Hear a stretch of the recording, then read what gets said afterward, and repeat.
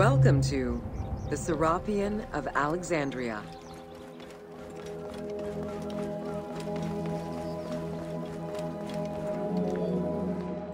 In a city of numerous magnificent attractions, the Serapeum was considered to be the most beautiful temple of Alexandria.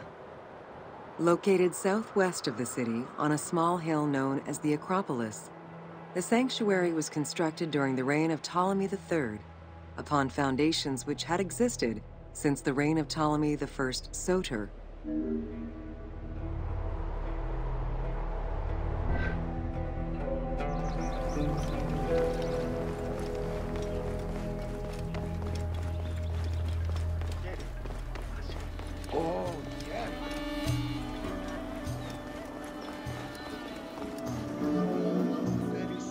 Visitors of the Serapeum climbed a hundred steps to reach the courtyard. Libraries were installed in the porticos surrounding the square building, with its roof and columns adorned with gold and gilded bronze. Pharaohs were generous to the temple, as were several Roman emperors after Egypt's conquest. Since the 26th dynasty, Greeks in Egypt had gradually integrated the Egyptian cult of the Apis bull to their own rituals. With the establishment of the Ptolemaic dynasty, the cult of Apis was further integrated into Greek religion.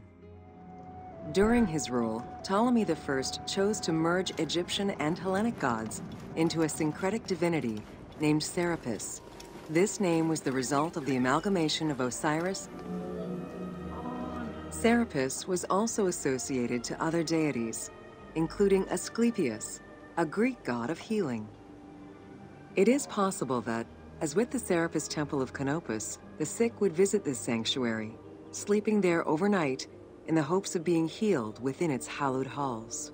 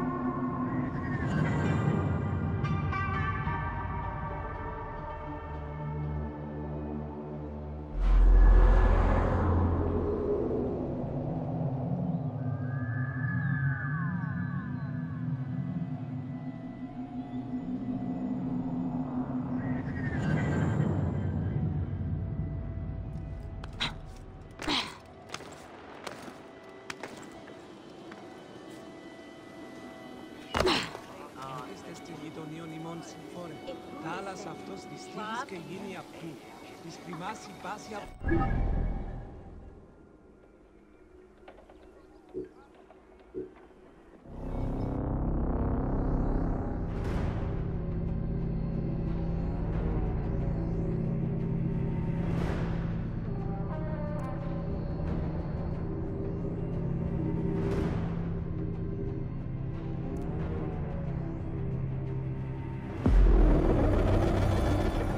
Try using your eagle when you want a top-down view.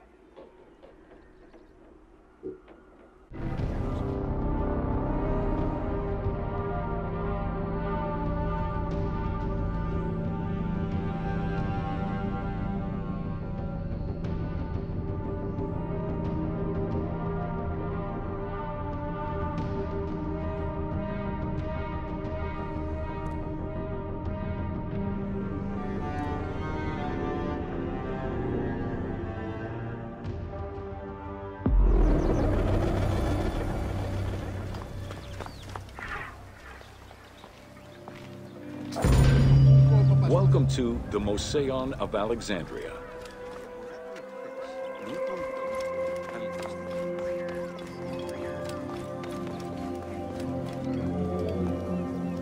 The Mouseion was a sector of the city commissioned by Ptolemy I to rival Athens Academy as an institute of intellectual pursuit.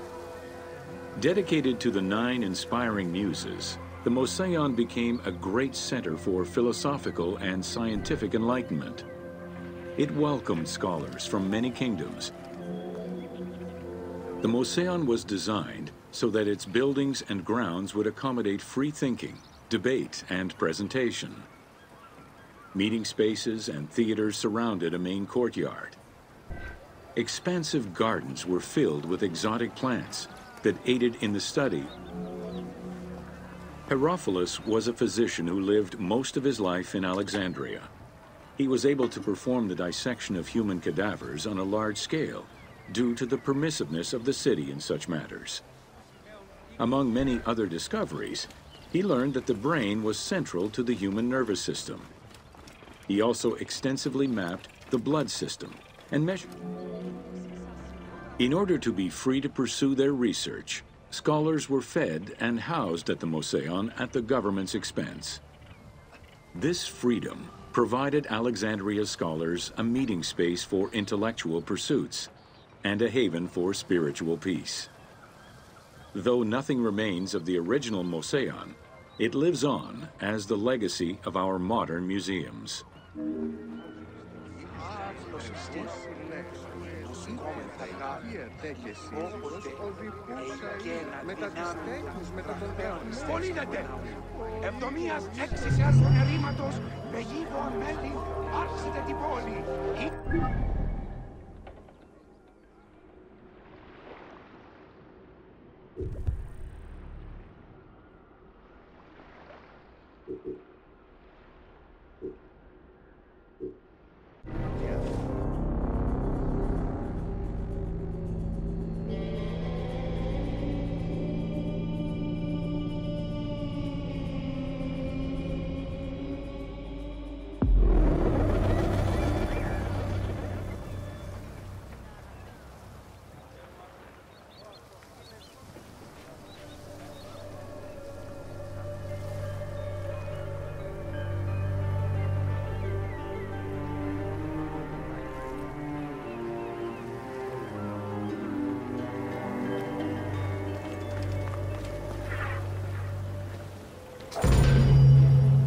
Welcome to the Islands of Pharos. The Heptastadion was a bridge-like causeway connecting the island of Pharos to mainland Alexandria. Its name is based on the Greek terms of measurement, hepta, meaning seven, and stadion, which is a measure of length of roughly 180 meters.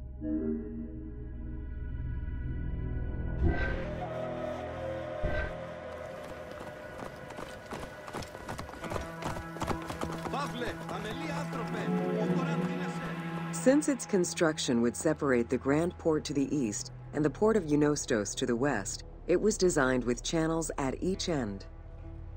These openings allowed passage from one port to the other.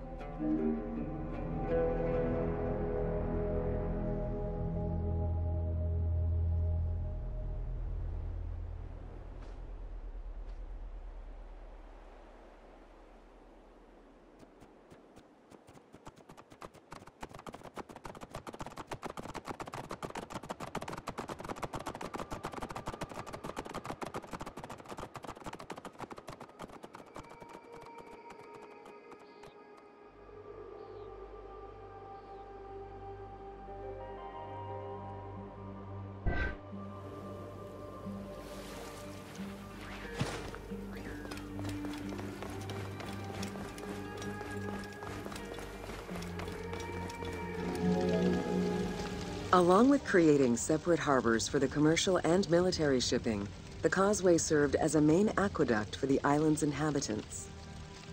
Its presence also helped protect the island and its ports from rough wind and sea currents. At the end of antiquity, the Heptastadion disappeared under layers of silt and soil, which formed an important sedimentary deposit.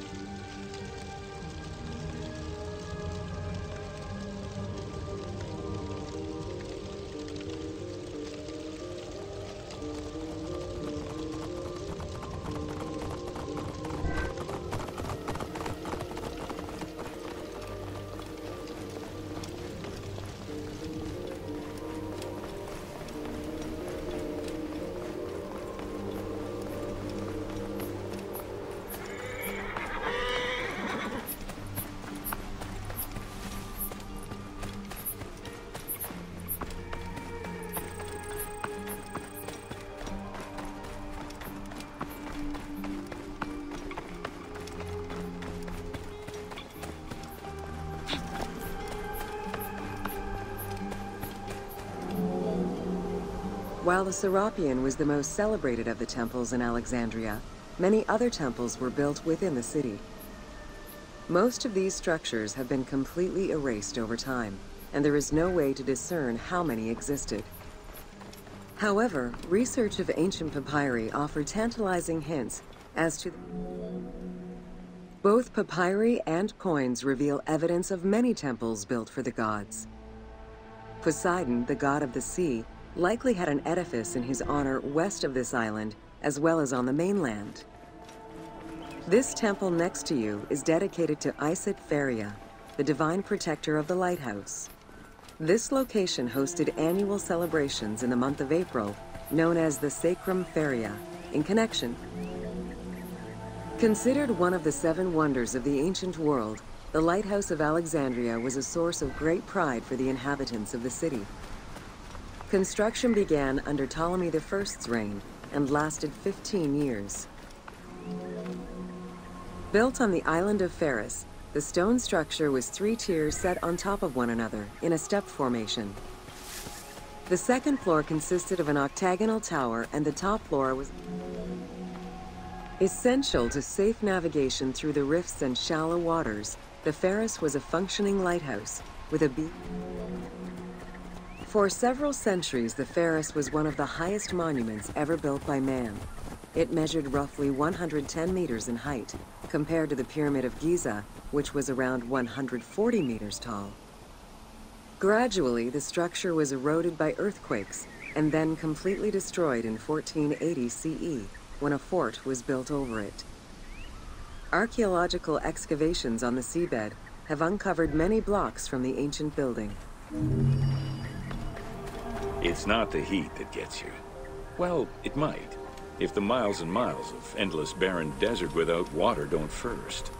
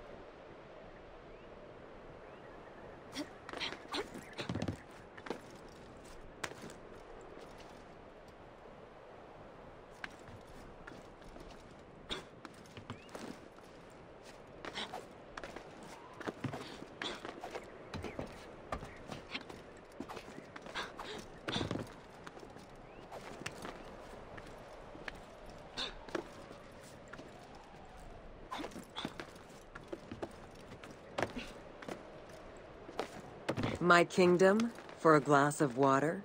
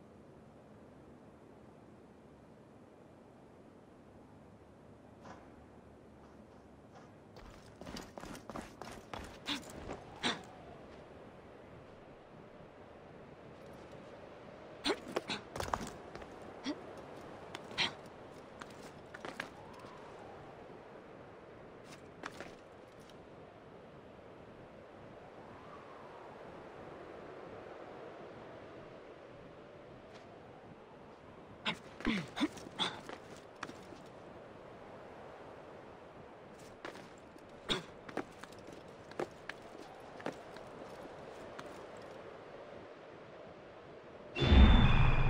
forget, you can still use photo mode at any time.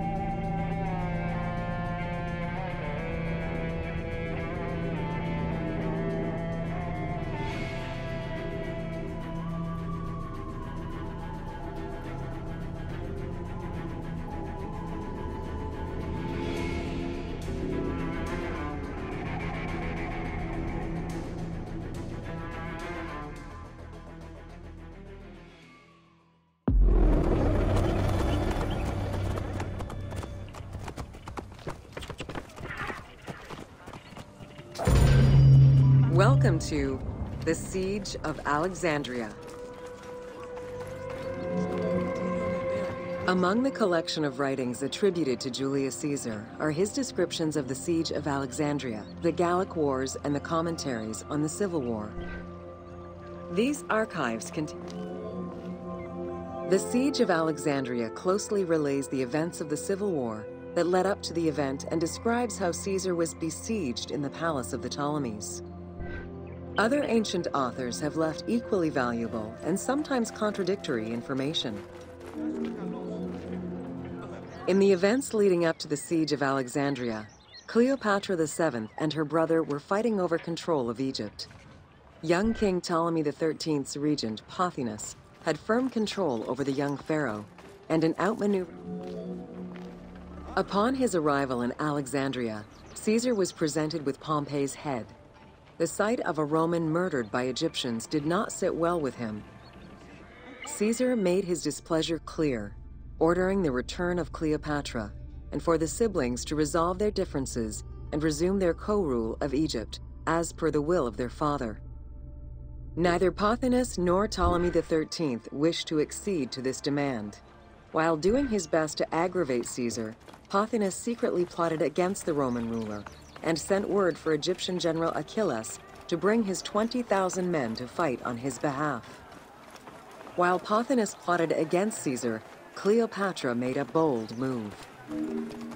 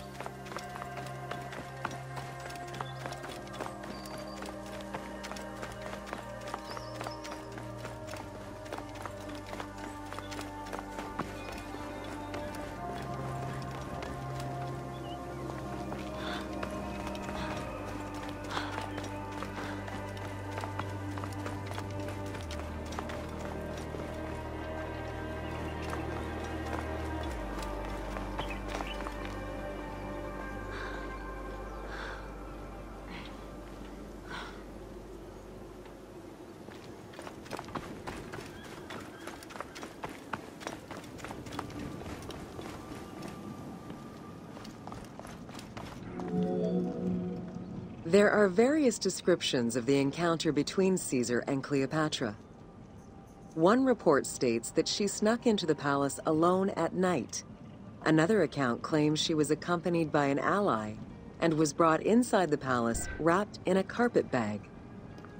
Though exactly what happened at this fateful meeting is up for debate, what is known is that Cleopatra met with Caesar and earned his approval. Pothinus and Ptolemy XIII were most vexed with this turn of events.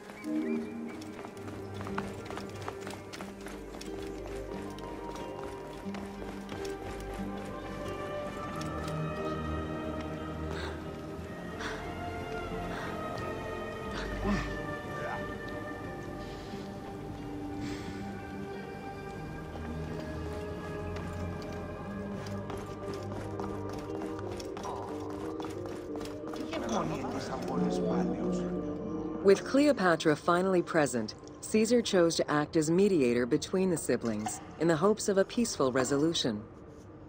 It did not take long for things to sour. During a banquet given to celebrate the reconciliation, there was an assassination attempt on Caesar. It was the Roman leader's own barber who thwarted the attack.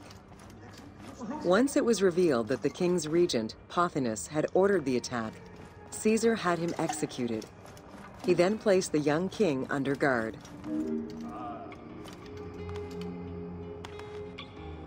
Συγχαίρωση.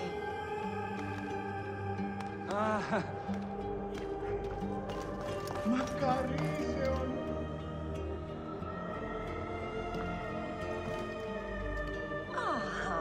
Α, Ω, αληθώς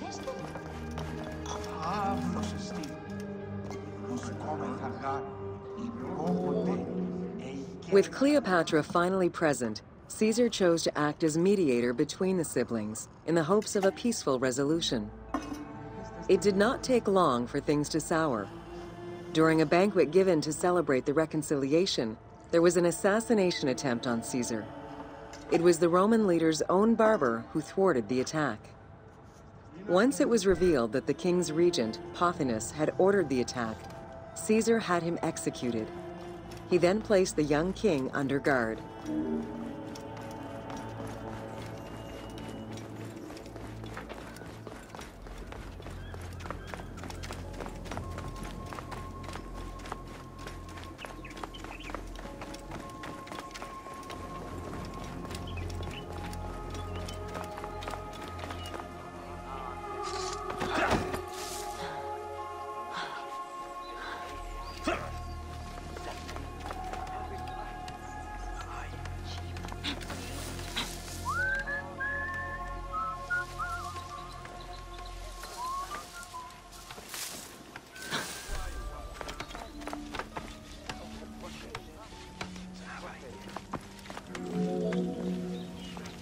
Within the palace with roughly 4,000 troops, and with the knowledge that the arrival of enemy forces was imminent, Caesar sent for help from Syria, Rhodes, and Cilicia.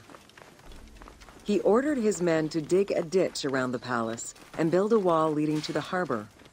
This would ensure Caesar's access to the sea. When Egyptian General Achillas arrived in the city with 20,000 men, the battle for Alexandria began. With so few men at his disposal, Caesar could not risk a battle just yet. He sent ambassadors to Achillas in the name of Ptolemy to propose a truce. Knowing that the orders did not come from the young king, and angered by the pharaoh's imprisonment, Achillas had the messengers assassinated. With Caesar confined within the palace, Achillas positioned his troops around the city. Skirmishes broke out throughout the streets of Alexandria and went on for several days and nights. Though they were outnumbered, Caesar's men were able to hold the enemy back. This prompted Achillas' next move, capture the Roman fleet stationed in the harbor.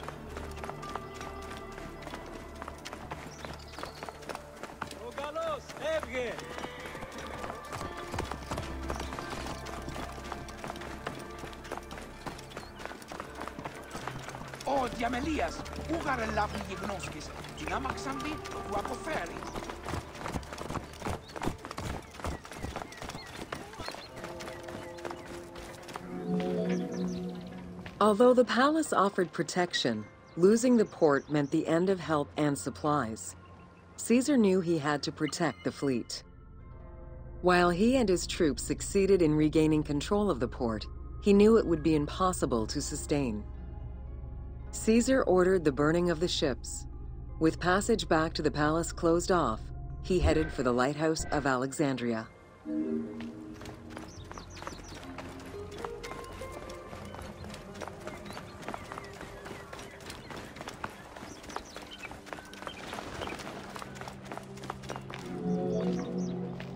Fighting their way through the Egyptian troops, Caesar and his men eventually reached Pharos Island.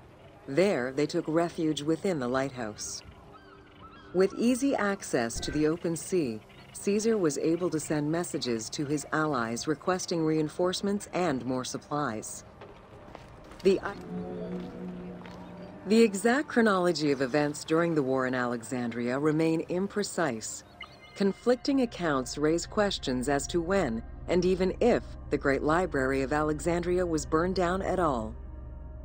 One account states that during the fighting, docks and warehouses were burned, and this was the fire that spread to the library. In another account, when Achillas cut off the harbor, Caesar had to. In either case, the Great Library was not completely destroyed. Experts point out that its location was too far from the harbor and much later texts refer to the Great Library as being intact. Warehouses near the harbor contained manuscript copies awaiting export, and it is more likely that these documents were destroyed than the Great Library itself.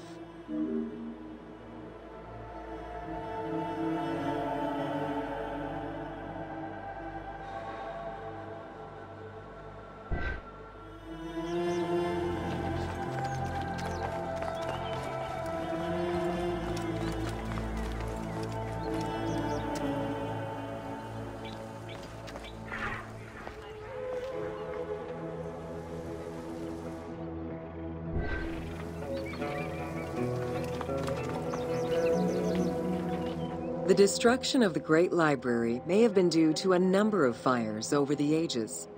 Its end was probably closer to the 4th century CE, when the Christian Emperor Theodosius I ordered the closure of all pagan temples. While some documents survived after being moved away, it remains unclear just what knowledge may have been lost.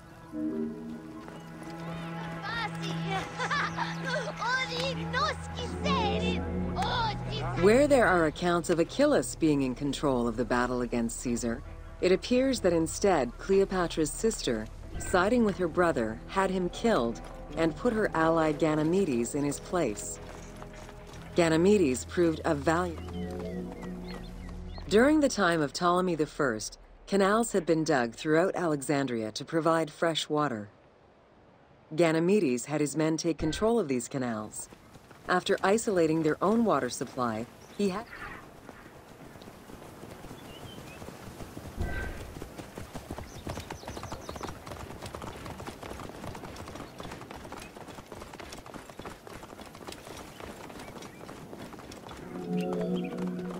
Panic erupted in Caesar's men.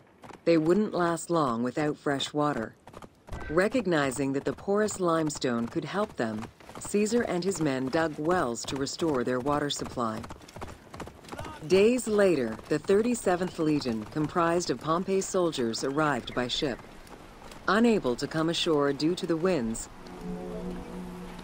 with help from the Allied ships, Caesar's victory enabled him to push the Egyptians back and secure the lighthouse. Gaining control of Pharos Island sent the Alexandrians into the sea and swimming back to the city. However, Caesar's fortification of the island didn't last long. The enemy regrouped and were set to storm the island. Caesar attempted to retreat, but Port Eunostos' harbor was overrun with enemy ships, preventing escape.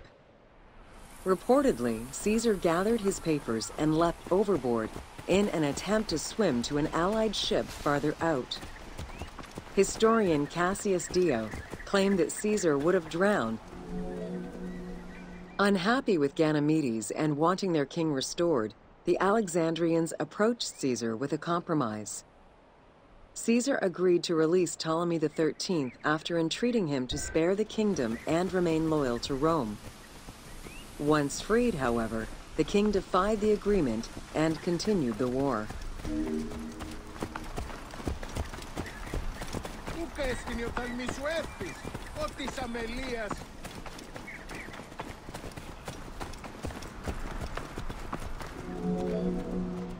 By this time, a faithful ally of Caesar's, Mithridates, arrived in Egypt, clashing with Ptolemy's troops at Pelusium.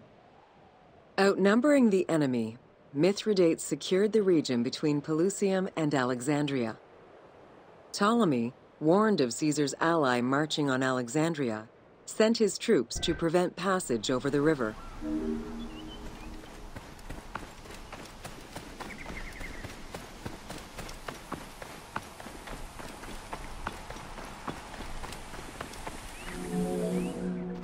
Mithridates warned Caesar in time, and the two groups confronted the armies of Ptolemy in the Delta. In the Battle of the Nile, the Romans gained the upper hand, sending the Egyptians fleeing.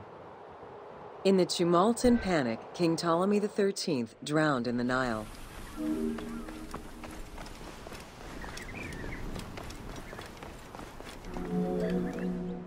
After the siege ended, Cleopatra VII married her younger brother, Ptolemy XIV, enabling her to reign over Egypt until 30 BCE. Under her rule, Alexandria settled into its position within the Roman Empire and eventually surpassed Athens as one of the most important cities in the Roman Empire. Julius Caesar remained in Egypt for a short time. He and Cleopatra would later have a son named Caesarion.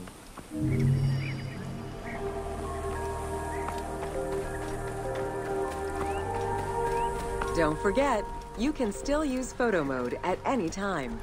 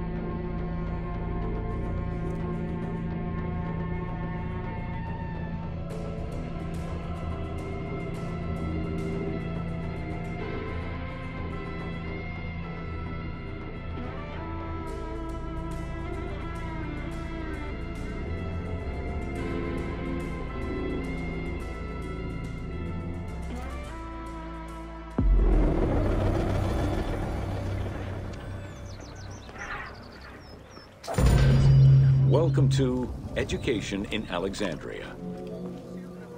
The education of young Alexandrians did not differ from the one generally dispensed elsewhere in ancient Greece. At the age of seven, the child was taken in charge by a tutor, who then became responsible for instilling an elementary education as well as good moral principles.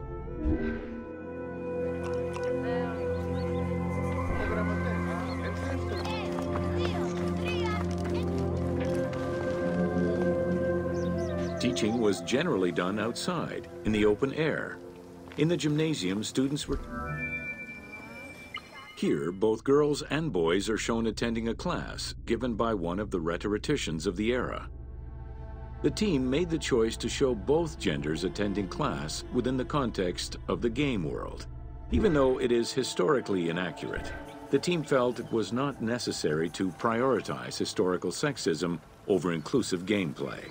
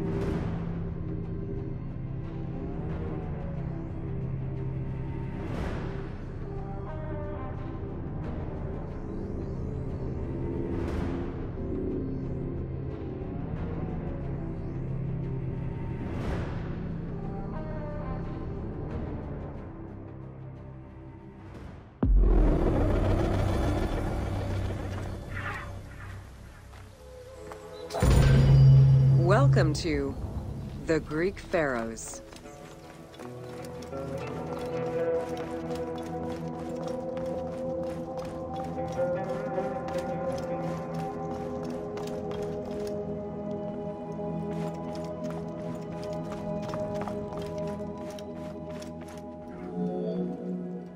Pharaohs were considered divine incarnations of the gods. As an avatar of the gods living on Earth, the pharaoh's role was to preserve fundamental values and universal harmony by removing chaos, Isfet, and ensure that justice, Maat, prevailed. The pharaoh, by divine ancestry and through multiple offerings, was the bond that unites the world of men to the world of the gods and allows the maintenance of the cosmic order.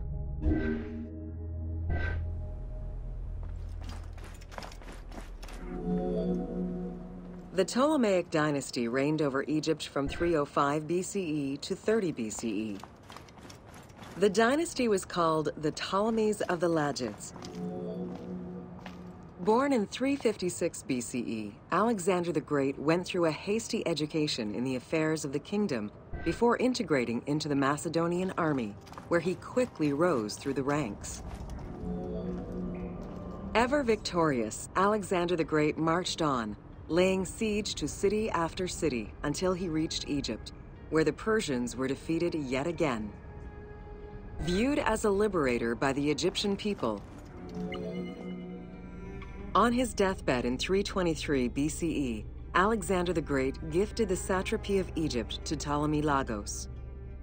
Perfectly aware of the value of Egypt, Ptolemy ensured not only the stability of the country's borders, but also its economic and military development.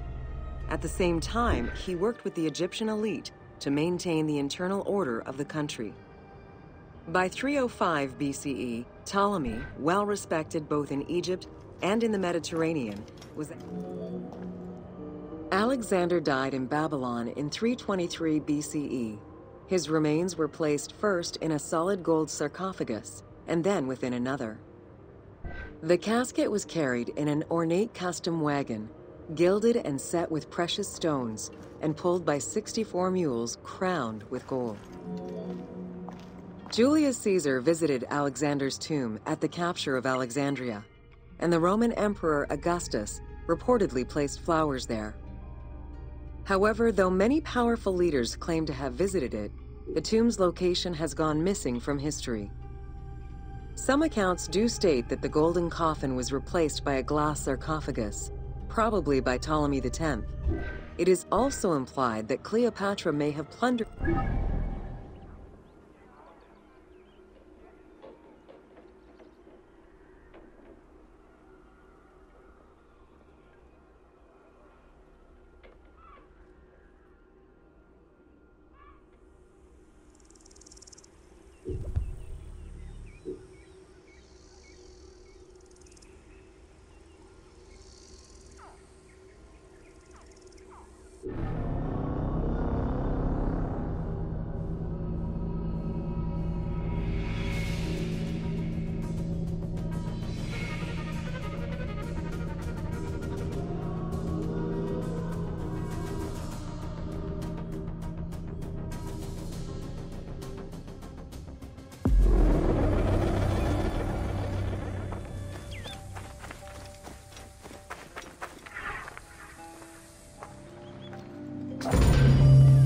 To the Hippodrome of Alexandria.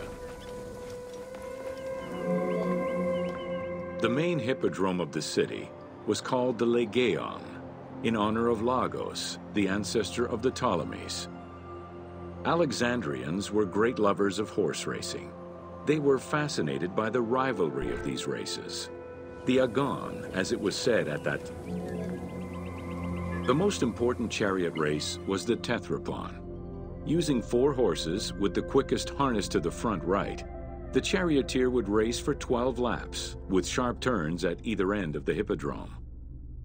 The victors were crowned with garlands of olive and received prize money, but the most sought-after reward was to be acclaimed by the works of poets, such as Callimachus and Pindar.